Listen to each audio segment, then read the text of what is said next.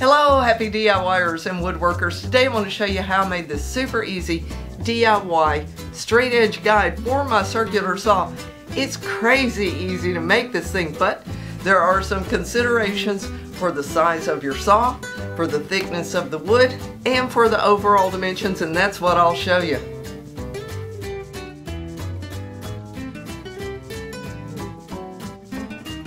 Hey, if this is your first time here, be sure to subscribe to the YouTube channel and come on over to heartwoodart.com for more helpful tips and tutorials just like this. Okay, let's dive in. Okay, first let me share the names of what I'm calling the parts of this assembly.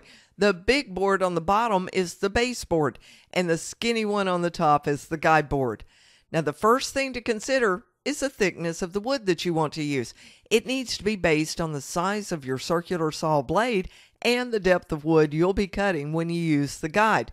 The thicker the stock you use for the baseboard, the less cutting depth you'll have for the saw.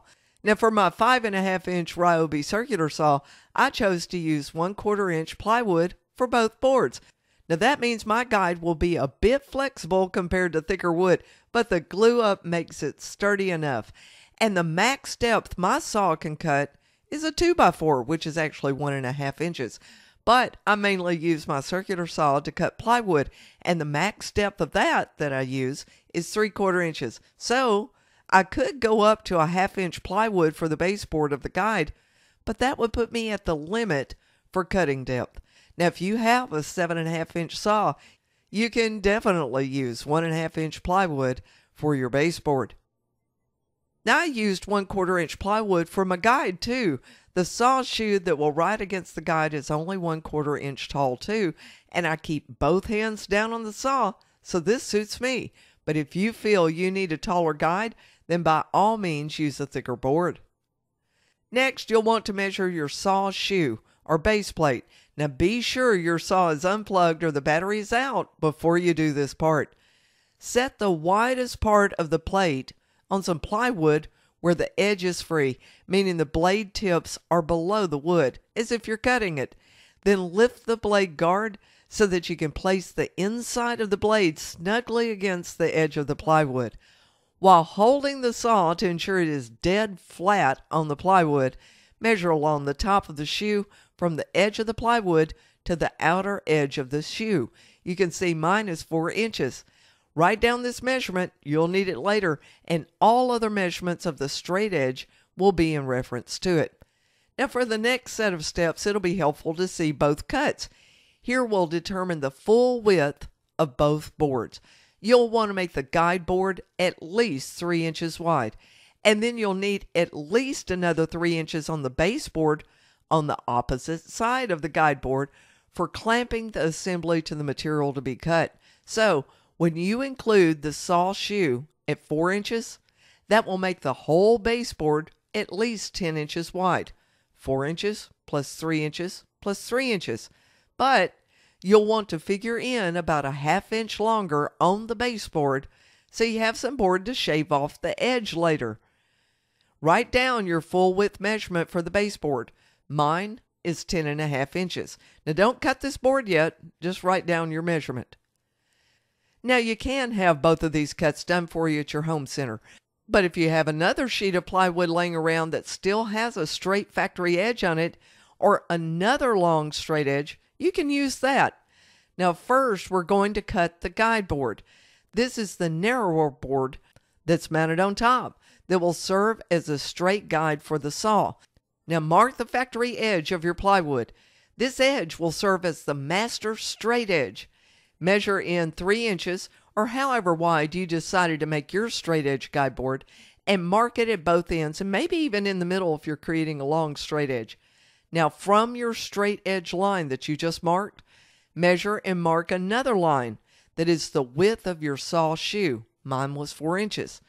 Then lay another sheet of plywood on top of the one that you're cutting with the factory edge on that second line you just marked. This top plywood will serve as your straight edge for this first cut. Go ahead and make the cut and then set your new guide board aside for now. Next, we're going to cut the baseboard. This is the larger board at the bottom.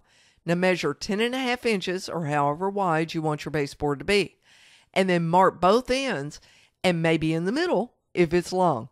And then from your straight edge line that you just made, measure and mark another line that is the width of your shoe, minus four inches.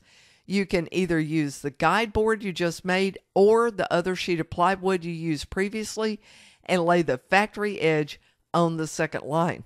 And then go ahead and make that cut.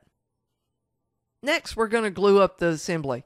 Lay the guide board on top of the baseboard and place the factory edge of your guide board four and a half inches from the edge of the baseboard, four inches for the saw foot, and then a half inch overage that you'll trim later.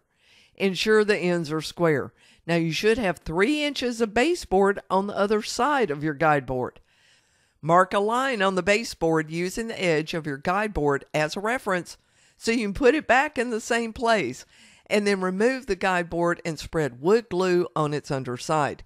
Replace the guide board on top of the baseboard with the factory edge square on the reference line that you drew.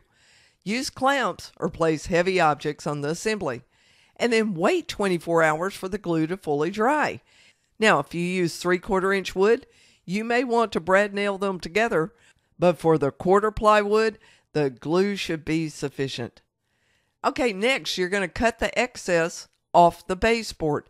So clamp the assembly on a flat surface so that about one inch of the baseboard on the side that's going to be trimmed is hanging over the edge and free to cut.